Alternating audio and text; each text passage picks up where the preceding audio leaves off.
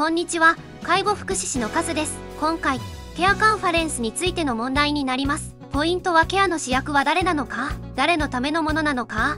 になります。では挑戦してみましょう。問題。利用者の自宅で行うケアカンファレンスに関する次の記述のうち最も適切なものは？1検討する内容はインフォーマルなサポートに限定する。2介護福祉職の行った介護に対する批判を中心に進める。3利用者本人の参加を促し利用者の意向をケア方針に反映させる。4意見が分かれた時は多数決で決定する。5対立を避けるために他の専門職の意見には反論しない。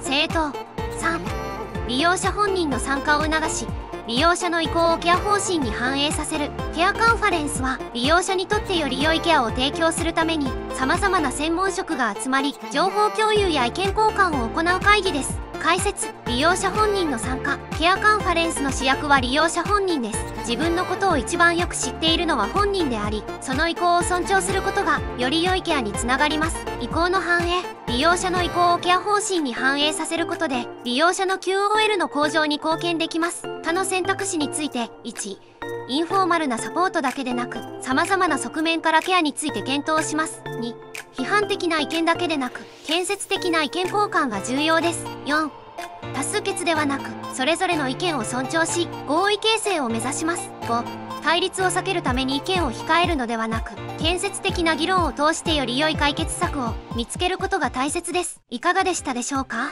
ケアカンファレンスは利用者本人の意向を尊重し多職種が協力してより良いケアを提供するための場です。ケアの主役である利用者本人の参加を促しその意向をケア方針に反映させることがケアカンファレンスの最も重要な目的と言えるでしょう。いつもご視聴いただきましてありがとうございます。他の動画もぜひご覧になってください。ではまた別の動画でお会いしましょう。バイバイ。